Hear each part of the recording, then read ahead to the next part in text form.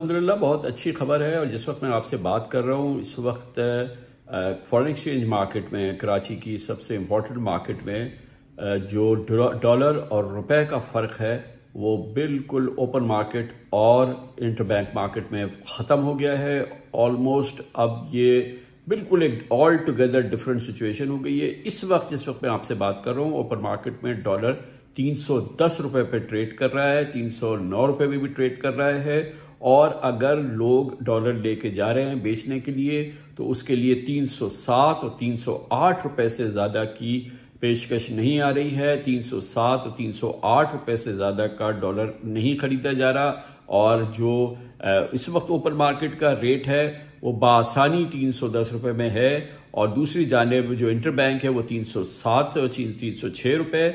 और जिसका मतलब ये कि ये फ़र्क जो है इंटर बैंक का और ख़ास तौर पे जो ओपन मार्केट का फ़र्क है इवन ग्रे मार्केट का फ़र्क जो है, वो बड़ी तेज़ी से कम हुआ है। और ये पाकिस्तान के लिए बहुत अच्छी खबर है, बहुत उमदा खबर है कि रुपए की कदर में इस्तेकाम आने के आसार हुए हैं। और सिर्फ़ आपने देखा कि पिछले चार, पाँच चार तीन, चार रोज के अंदर ये तीस रुपए के करीब जो है, वो कम हो गया है। रुपया डॉलर के मुकाबले में उसमें बेहतरी आ गई है। और इस तरह से ये एक बड़ा बहरान जो है, वो हल होता नज़र आ रहा है या उस कम अज कम एड्रेस हो रहा है और ज़ाहिर है कि इसका क्रेडिट जाता है, फौज के सरबराह का डिटर्मिनेशन उनके अजाइम उनका वादा कि पाकिस्तान की मीशत को ठीक किया जाएगा और पाकिस्तान की मीशत के जो नासूर है, उनको ख़त्म किया जाएगा, उनका मुकम्मल इलाज किया जाएगा।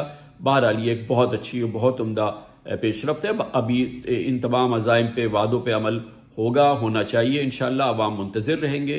लेकिन ये एक बहुत शानदार खबर है जो मैं चाहता हूँ कि आप लोग सेलिब्रेट करें।